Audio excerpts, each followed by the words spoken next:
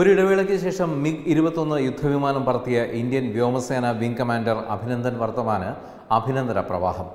സമൂഹമാധ്യമങ്ങളിൽ നിരവധി പേരാണ് അഭിനന്ദൻ വർത്തമാന് പൂച്ചെണ്ടുകളുമായി എത്തിയത്.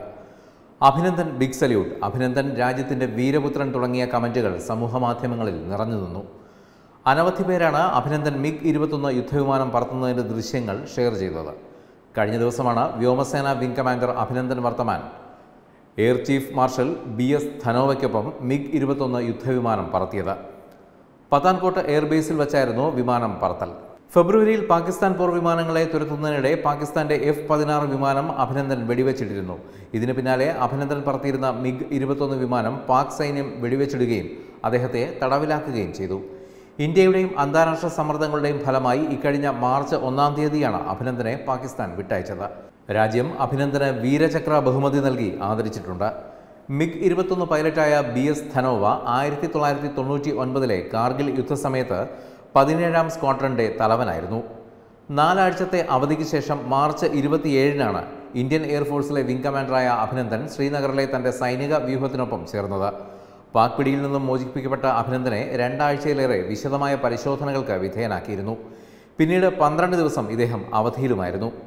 ചെന്നൈയിൽ കുടുംബത്തോടൊപ്പം പോകാൻ അനുവാദമുണ്ടായിരുന്നെങ്കിലും അഭിനന്ദൻ ശ്രീനഗറിൽ തന്റെ വ്യോമസേനാ സംഘത്തോടൊപ്പം നിൽക്കാനാണ് താൽപ്പര്യപ്പെട്ടത് പുൽവാമ ആക്രമണത്തിന് തിരിച്ചടിയെന്നോണം ഫെബ്രുവരി ഇരുപത്തിയാറിന് ബലാക്കോട്ടിലെ ജെയ്ഷെ മുഹമ്മദിന്റെ താവളങ്ങൾ ഇന്ത്യൻ വ്യോമസേന ബോംബിട്ട് തകർത്തിരുന്നു.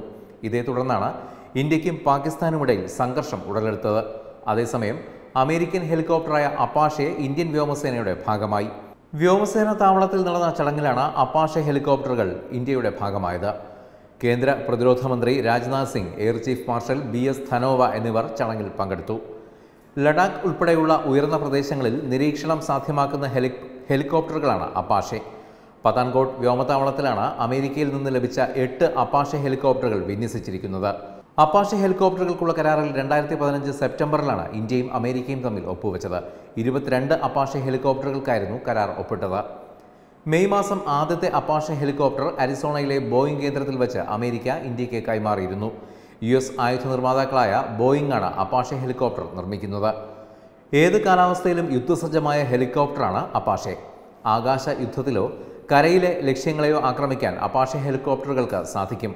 കൂടുതൽ സൈനികരെയും ആയുധങ്ങളെയും ഇന്ധനവുമൊക്കെ വളരെ പെട്ടെന്ന് യുദ്ധമുഖത്ത് എത്തിക്കാൻ സഹായിക്കുന്ന ചിനൂക്ക് ഹെലികോപ്റ്ററുകൾ നേരത്തെ തന്നെ വ്യോമസേന ബോയിങ്ങിൽ നിന്നും വാങ്ങിയിരുന്നു.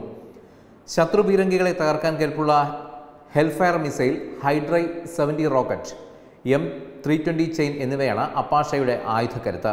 അൻപത് കിലോമീറ്റർ പരിധിയിലുള്ള ലക്ഷ്യങ്ങൾ നിരീക്ഷിക്കാനും ആക്രമിക്കാനും അപ്പാഷയ്ക്ക് സാധിക്കും. ഡിഫൻസ് ഡെസ്ക് തത്തുമൈ ന്യൂസ്